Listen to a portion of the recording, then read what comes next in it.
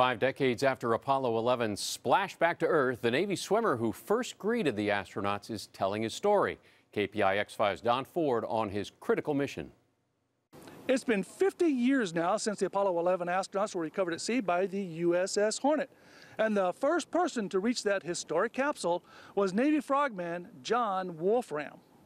John was 20 years old, fresh out of Naval Special Forces training, when he and his team were assigned to safeguard the Apollo 11 astronauts moments after their capsule splashed down. First, his team secured a flotation ring to keep the spacecraft from sinking. Then John climbed up and looked in. I looked in the hatch window to get uh, a thumbs up from the astronauts to let one of the doctors in a helicopter know they're okay. And once the, that was established, uh, a helicopter came in close, two more frogmen jumped in. John modestly says it was a team effort, an effort that they trained for. He says they knew what to do. Then a different frogman carefully approached the hatch. There was a serious concern moon germs. And he opened the door? Uh, the astronauts, I think, opened the door from the yeah. inside.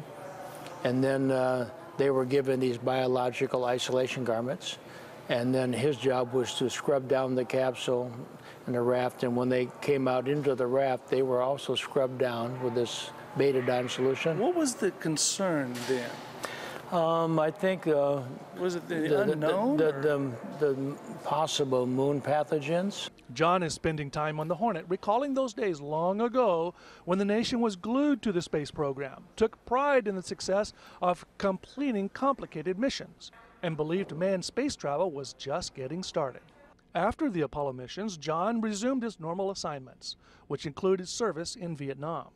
John is now 70 years young. First one in water. Hoo-yah! In Alameda, Don Ford, KPIX 5.